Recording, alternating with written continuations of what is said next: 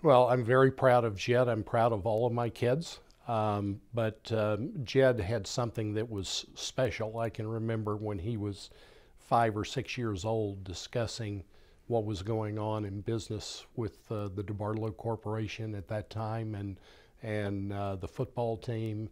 So he has always had a mind uh, towards business and towards what the family was involved with.